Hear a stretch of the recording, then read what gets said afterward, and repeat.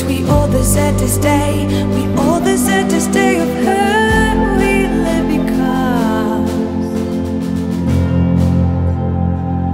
this too shall pass.